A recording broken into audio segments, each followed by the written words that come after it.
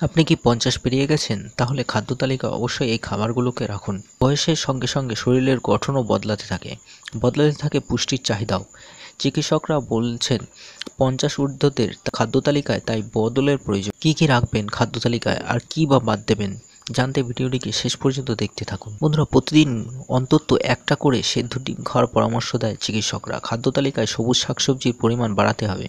এতে শরীরে পর্যাপ্ত পরিমাণে খনিজ পাওয়া যাবে। অনেকে মনে করেন ঘিতে অতিরিক্ত ফ্যাট থাকে। সে কারণে অনেকেই খাদ্য তালিকা থেকে ঘি বাদ দিয়ে দেয়। তাই বিশেষজ্ঞরা বলছে শরীরে পর্যাপ্ত পরিমাণে ফ্যাটও প্রয়োজন। তাই খাবারে সামান্য পরিমাণে ঘি ব্যবহার করা ভুলবেন না। যে কোনো ব্যক্তিকে দিনে অন্তত তিন লিটার জল খাওয়ার পরামর্শ দেয়, সে কথা আমরা সবাই জানি। কিন্তু পঞ্চাশ ঊর্ধ্বদের একই কথা বলছে তারা। তারা পারলে আরেকটু বেশি খাক। জল, ফল খাওয়ার কথা বলছে চিকিৎসকরা। তালিকায় একটা করে আপেল অবশ্যই রাখবেন।